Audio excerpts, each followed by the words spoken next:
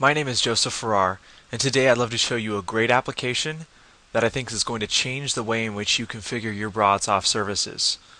Now, without ever having to leave your desktop, you can turn certain services on and off based on the new platform that BroadSoft has just released called XSI. So let's check out this application.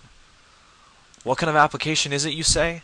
Well, it's an Adobe Air application, which means it not only runs on Windows, but it also runs on Mac. Pretty cool. Let's check it out. It's as easy as clicking Install Now. When a box opens up, we say Open. When it asks us to install, we just click Install. It's going to ask to install a shortcut on your desktop. You don't have to install the shortcut on your desktop, but it makes it a lot easier when you want to launch the application later on. We'll say Continue. After it installs the application, we're going to have to configure a few things. Number one, we need to put in the server address for the XSI. That's going to go ahead and be the sandbox currently on BroadSoft. And then we'll put in a password. Now I'm not going to let you see my password, otherwise you could go ahead and log in and make some changes. Once you're done, click Save Changes or Save Settings. Once you click Save Settings, it's going to go ahead and open up and pull your services.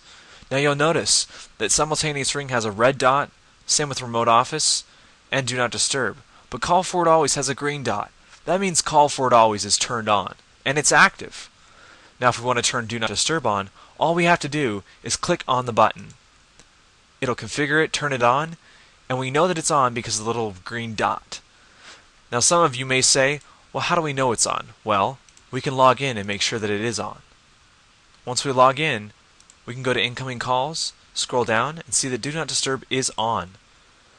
Now for those of you that still don't believe, I'm going to minimize and show you in real time it turning on and off your services. So let's click it again. Do Not Disturb will turn off, and we'll check BroadSoft. Do Not Disturb is off. Additionally, if we want to go ahead and configure call forwarding always, all we have to do is click on it, and if we want, we can change the number. Now this is the number for the movie Phone Line here in Las Vegas, Nevada. Once we click Save, it'll update the service and complete. If we go into incoming calls and go to Call Forward Always, we'll see that it's updated to that number I just put in. Well, I don't really want it on anymore, so I'm going to turn it off. I hit Save, updates the service, and turns it off. And you can see now the service is off. Well, what if I want to go ahead and dial out? It's pretty simple too. Click on Dial Pad. Now based on the device that you have configured for your account, it will cause your phone to ring. When you pick up your phone, it'll connect you to the phone number that you type in right here. So let's go ahead and type in a phone number. This is just going to be an extension because the Xtended platform currently allows you to call extensions. So let's click Call. We click Answer. It opens up and it says that it's placed on hold by the remote party because currently extension 0006 is not online.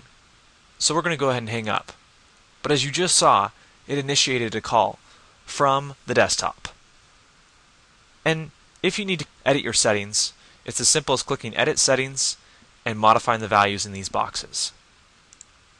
Once again, my name is Joseph Farrar, and I hope you enjoyed what you saw. I hope you enjoyed QuickSet, and I encourage you to go download it. Please go to joedeveloper.net forward slash QuickSet to download your copy today.